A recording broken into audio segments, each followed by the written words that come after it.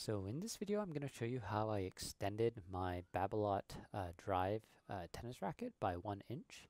Basically I 3D printed um, uh, a piece to stick into the end of the handle there and so you can see that I actually split it up into two pieces and that way when I printed it flat um, the layers would be in such a way that it wouldn't shear off. So, so there's you have the full kind of strength of all the layers being laid down horizontally, which which gives it that strength. I kind of figured if I printed it one piece um, vertically, that you know it might shear off with too much force. So, I uh, put some screws in there. I, I made it so I could insert a nut on one side and then thread a screw through, and it sort of provides a bit of clamping force to um to sort of uh, you know squeeze on that middle little bit of the handle.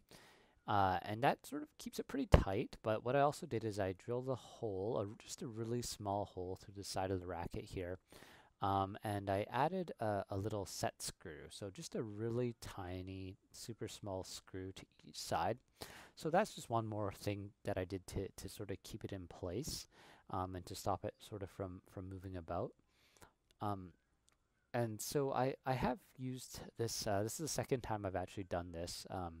I did it on another racket and I've been playing with it for probably about a month now and so far it still seems to be tight so I think the overall process is pretty good. Um, and you know it's not that hard to design. You just kind of need a pair of calipers and um, and you know uh, some you know, I use Fusion 360, but some software, it's you can do it with pretty easy geometric shapes, right? Like squares and hexagons and stuff like that. Um, you just need to kind of measure your own racket. So now you can see I'm testing it just to make sure that it's it's really solid.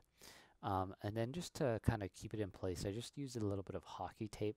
Um, and that's also just to smooth over that little gap in the joining part. And just to keep everything sort of tight, I just wrapped up uh, the whole thing um, in a bit of hockey tape there uh, before regripping it. So um, I didn't actually get a chance to uh, buy a new grip. So you'll see that I'm just putting on this old sort of beat up grip back on just, just to kind of test it out.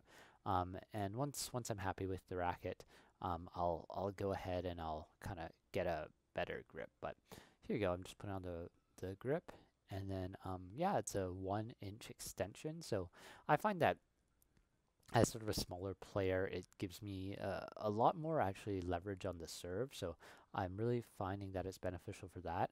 And uh, I actually play double hand, forehand, and backhand. So having that extra leverage is good, and it, it's not too hard to control because my volley is um, the hand is still further up the grip. So it works well for me. It might not be for everybody, but that's the finished product. You can't really even tell that it's there, and um, it works out pretty well.